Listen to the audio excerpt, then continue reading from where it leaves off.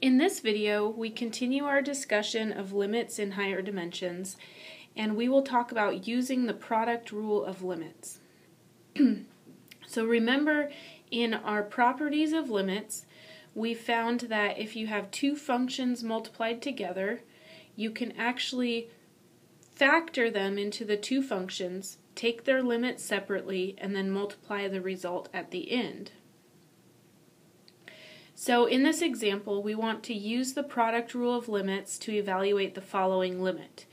Limit as xy goes to 0, 0 of parentheses e to the y minus 1, close parentheses, times sine of 2x, all divided by 3xy.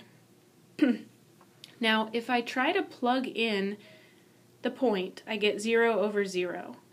So this is a problem. This tells us that we can't determine the limit. So our goal is to break apart the limit into factors whose limits we can determine.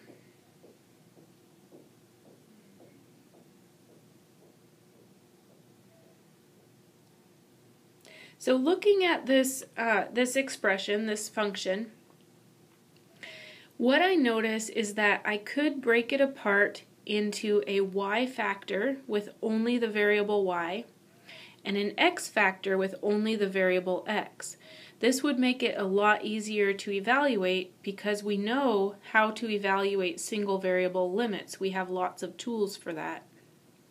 So this is equal to the limit as xy goes to 0, 0 of the y factor, so e to the y minus 1 over 3y, times the x factor, sine of 2x over x.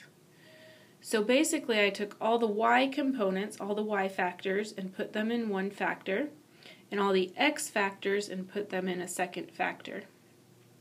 Now remember, we have to keep writing the limit as xy goes to 0, uh, 0, 0 until we break it apart. So now what I can do is I can say, well, this is equal to the limit as y goes to 0 of e to the y minus 1 over 3y times the limit as x goes to 0 of sine of 2x over x. So now I have these two single variable limits, which um, we should know how to evaluate from Calculus 1. And remember, um, both, anytime you get a limit of 0 over 0, so both limits are 0 over 0, and anytime you get that, you can apply L'Hopital's rule. And remember, L'Hopital's rule tells us that we take the derivative of the numerator over the derivative of the denominator.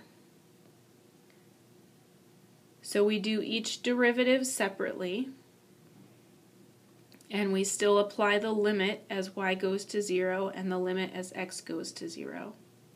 So I have the limit as y goes to 0 of the derivative of e to the y minus 1 is just e to the y, and the derivative of 3y is 3. So I have the limit as y goes to 0 of e to the y over 3 times the limit as x goes to 0, the derivative of sine of 2x, we apply the chain rule, and we get 2 cosine of 2x, and the derivative of the denominator is 1.